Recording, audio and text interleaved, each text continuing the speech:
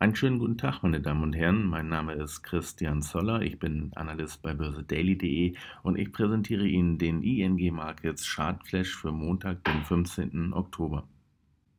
Ja, ich möchte gerne wieder einen Blick mit Ihnen auf den amerikanischen S&P 500 werfen. Ne, da hat es äh, in der Vorwoche genau wie im DAX eben einen massiven Kurseinbruch gegeben. Ne, wir standen zunächst noch über 2900 Punkten und krachten dann relativ schnell deutlich in die Tiefe ähm, bis äh, ungefähr 2700 Punkte. Ähm, in Folge konnte sich der Index aber wieder erholen und auch wieder über den äh, 200-Tages ähm, ansteigen, also den einfachen Moving Average und notiert aktuell bei 2767 Punkten knapp darüber. Sollte die Erholung sich hier weiter fortsetzen, die am Freitag begonnen hat, dann könnte es nun, könnte der Index nun vor einer Trendwende stehen und vor einem ähm, Richtungswechsel wieder nach oben Richtung ähm, 2800 Punkte und höher. Äh, die Lage würde sich dann auffällen, sobald der Index über 2800, 2820 Punkte steigt. Dann wäre mit einem erneuten Anstieg ne, zu rechnen Richtung ne, 2900 Punkte zunächst einmal. Und dann könnte auch die eine herbe Korrektur der Vorwoche eine, eventuell schon wieder beendet sein. Hier möchte ich eben einen Blick werfen mit Ihnen auf den äh, Monatschart im S&P 500 mit dem steigenden grünen Trendkanal. Ne, dieser Trendkanal, den hatten wir schon in der Vorwoche besprochen. Ne, der Index ist hier in den vergangenen Jahren, unter anderem dann hier 2015, 2016, immer wieder nach oben abgeprallt ne, dann auch hier in diesem Bereich und dann ne, befinden wir uns aktuell eben auch hier genau im unteren Trendkanalbereich. Wir sind hier in der Vorwoche etwas nach unten durchgebrochen, ähm, dann aber wieder äh, nach oben abgedreht.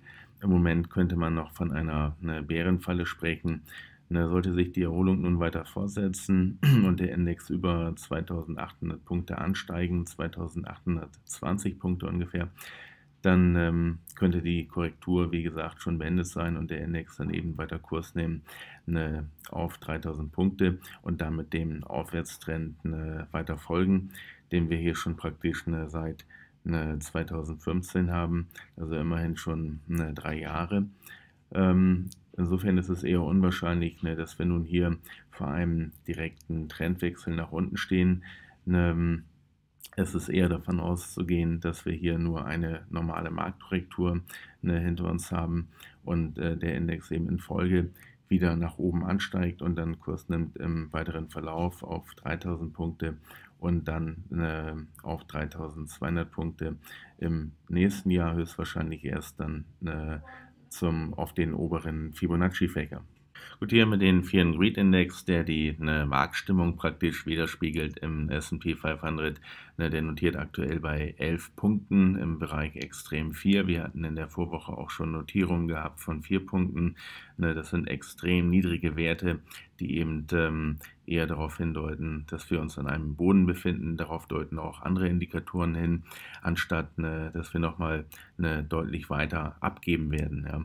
Ne, das äh, ist natürlich möglich, ja, genau wie nach einem Allzeithoch ähm, der Index einfach weiter ansteigen könnte aber ne, aktuell deuten die, ne, deutet die Lage eher darauf hin, dass wir uns an einem Boden befunden haben bei ungefähr 2700 Punkten und ähm, nun zunächst einmal eine Erholung laufen sollte, aus der sich dann über 2820 Punkten ungefähr mehr entwickeln könnte, nämlich dann ein neuer Anstieg Richtung 2900 Punkte und höher. An der Konjunkturfront könnten heute noch ähm, US-Einzelhandelsdaten spannend werden für den Monat äh, September. Die werden um 14.30 Uhr publiziert und äh, mit einem Anstieg von 0,7 Prozent erwartet im Monatsvergleich nach äh, einem Anstieg von 0,1 Prozent zuvor. Ne, ansonsten liegen hier wenig ne, interessante Konjunkturdaten an. Um ne, 14.30 Uhr ebenfalls kommt noch der Empire State Manufacturing Index für den ne, Monat Oktober, der aber weniger Bedeutung haben dürfte für den Marktverlauf. Und dann um 4 Uhr nochmal die Lagerbestände für die ne, USA, die mit einem Anstieg von 0,5 Prozent erwartet werden nach 0,6 Prozent ne, zuvor, die aber ebenfalls eher unbedeutend sein dürften. Gut, dann wären wir durch für heute mit dem Chartflash. Der S&P 500 befindet sich trotz der Korrektur weiter in einem starken Aufwärtstrend, wie man im Monatschart erkennen kann. Wir befinden uns aktuell in einer, einer scharfen Korrektur. Eine, der untere Trendkanal, der langfristige, der hat eine, bisher gehalten.